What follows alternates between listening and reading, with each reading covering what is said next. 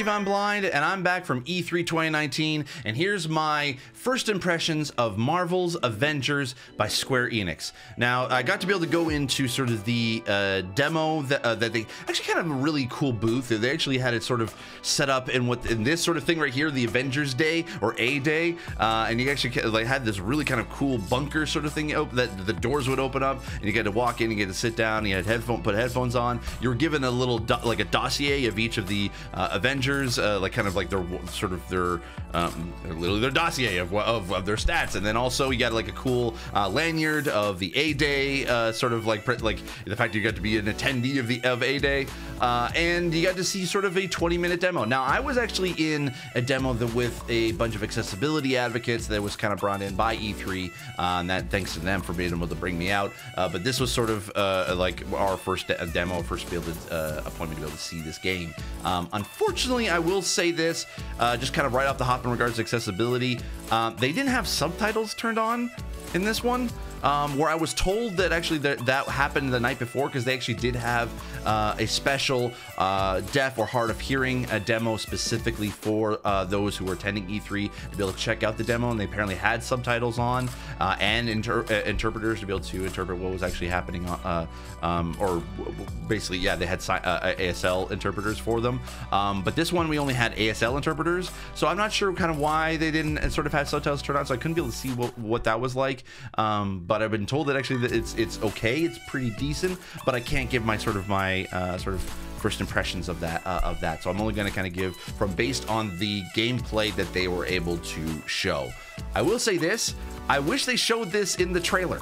I wish that they had a, they have little snippets of it uh, in this sort of trailer I'm playing behind me, uh, but it didn't show a lot in the actual E3 reveal trailer. You kind of had to see and go to this demo in order to be able to see more. And I kind of wish that they showed this. I'm hoping that they actually release this uh, this video like or at least the the demo the full gameplay demo so that people can be able to see what it look uh, what it looks like or what it looks like and being able to play with the different avengers so basically you get the the, the whole dem, uh, demo of the to story is that uh, this is the attack on San Francisco during A Day, and you get to see the aftermath of it and you get to sort of see different characters pretty much every single character on how they fight and what they uh, what they use. It looks like that it's kind of they're kind of going with a very basic sort of combat style that's universal to all the Avengers. So it looks like that every Avenger kind of has a special attack, and then also kind of just some basic attacks, and just can, and it's dependent on which character you're in and, and sort of what tactics you can use. Uh, it just sort of seems like it's the same kind of thing over and over again. However, I wasn't able to sort of get my hands on on it, so I don't know how that feels when it's when they're playing. But I did like at least that that each character you don't have to learn a new set of controls in order to be able to uh, figure out how to be able to play th that character. Um, maybe a little bit in regards to how the specials sort of work, but it looked like it was pretty universal across the board. That may deter some from wanting to be able to play because they think it might be too simple of control scheme, but for those with disabilities, that might actually be a little bit more of a, an improvement for them. Um, so you were able to you start off with Thor, and you get to sort of see him wield his wield his hammer and get basically just knock down enemies left and right as he's protecting people uh, and kind of breaking down barriers and kind of uh, uh letting people escape while he attacks other uh, other people uh, uh, as they're kind of shooting at him and kind of attacking him. And then you sort of jump into uh, I think it was Iron Man was next. It looked like it was pretty cool to be able to fly and be able to kind of use your uh, your uh, pulse cannons on your or on your hands. it looked like that was kind of neat. and then actually my favorite favorite, uh, honestly, of all the, of all the characters was Hulk because it looked like it was like really really cool to be able to just smash things. Uh, and in that demo yeah i didn't i couldn't tell if you were able to do this yourself or if it was a cinematic but that little part in the in the demo where you actually get to see the hulk carry a, a hold a tank up above the air and just kick the guy off to the side. I don't know if that's something you just do or if that's part of the cinematic but it looked kind of funny and it was cool. But what was great too was that uh, it, uh, actually it's this part right here that you can see in the background. Uh, but what i liked actually cool what was neat was that as you're running you can actually run against like walls or like sort of barriers that uh, kind of are around you. So like essentially, you're like in this, you're kind of running off the side of trucks, transport trucks, and buses, just trying to be able to jump from one uh, like kind of gap in the bridge to the other. Uh, that looked actually kind of neat. It was kind of look, look it was kind of fun. Um, Natasha or Black Widow looks kind of interesting. Looked like there's a little bit more of like kind of like a, a hand-to-hand martial uh, arts kind of combat mode because essentially you're fighting the Taskmaster. There was some actually uh, a period where you're actually kind of on, like on Taskmaster's back and you're just basically just punching him. So it looks like it's kind of like a QTE, like a quick time event. I couldn't tell if you were able to you had to push or hold uh, certain buttons, but it looked like you had to push certain uh, buttons at certain times. So that I don't know if that's repetitive motion we'll be able to have if you have any issues with it in regards to accessibility. But it looks like that that's you have to time it just right. Uh, so that might deter some, but uh, it looked it didn't look like it was too difficult to build to sort of uh, to be able to kind of figure out and and uh, and get past it. But then when you're actually doing the fighting, it was kind of neat. It sort of had to try to figure out sort of the tactics, especially how to be able to kind of defeat Taskmaster because of course Taskmaster in the lore he just learns and and, and does his homework on every sort of enemy that he attacks, so he knows your moves before you, uh, you decide to do them, uh, which is so that's kind of how he is. But so it's a little bit more of a longer fight within the demo itself, but it was kind of neat just to kind of like there was a little bit of a like dialogue back and forth. Uh, equipping this and just sort of like it was just sort of the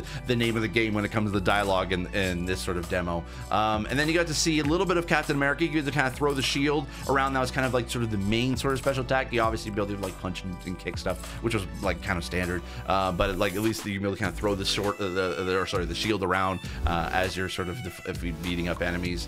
Uh, and that's kind of the main Avengers that you got to you got to sort of see and play. Um, they didn't really show any other sort of Avengers or anyone else in the Marvel universe that you can be able to play against, but they did say that there are characters that you will be able to eventually unlock. And they didn't really explain how they said it was sort of it, you could do a single player or co-op. They didn't show really the co-op or the multiplayer side of things, um, so I couldn't really tell how that was going to play in. It looked like that this was a pretty on rails straight single player experience. And so i'm looking forward to see what they're gonna like show uh, in the future because this does come out next year. Um, who knows? This could be just a very early demo. And you know what? I didn't mind it. It's not it's not marvel spider-man i'll give you that.